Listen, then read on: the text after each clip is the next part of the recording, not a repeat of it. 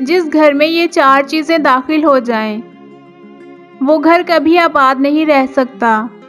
हराम का माल झूठ और बददयानती अपनों के साथ गैरों जैसा सलूक औरतों की बुलंद आवाज़।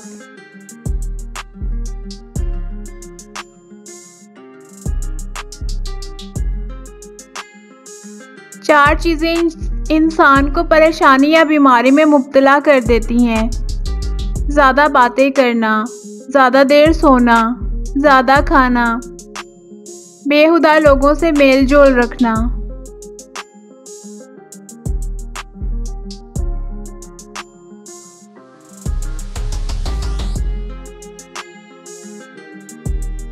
हर रिश्ते में गलतियाँ तो होती हैं, लेकिन गलतियों पर समझाया जाता है। रिश्ता तोड़ा नहीं जाता।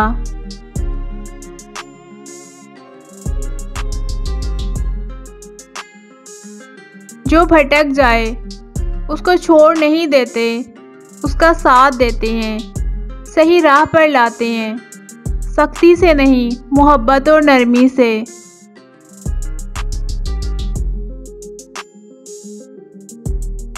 हमेशा खुश रहा करें, क्योंकि ये बेहतरीन इंतकाम है, उन लोगों से, जो आपको परेशान और उदास देखना चाहते हैं।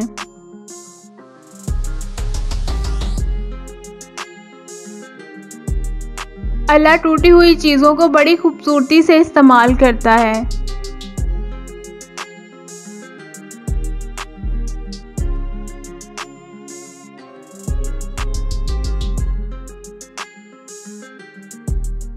अगर कभी आपको महबूब शख्स से नफ़रत हो जाए तो कभी मोहब्बत थी ही नहीं।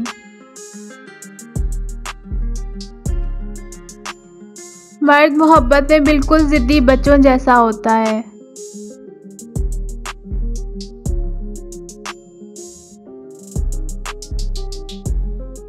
औरत मोहब्बत के बिना आधी होती है, जबकि इज़्ज़त के बिना तो औरत औरत ही नहीं रहती।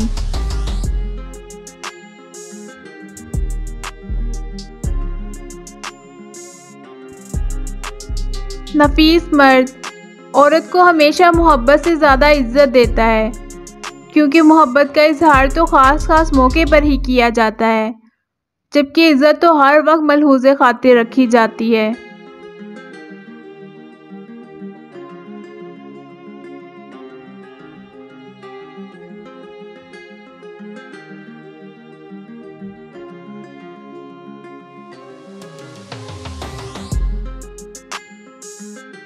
ऐसी मोहब्बत जल्द ही ख़त्म हो जाती है, जिसमें ये दो चीज़ें आ जाए।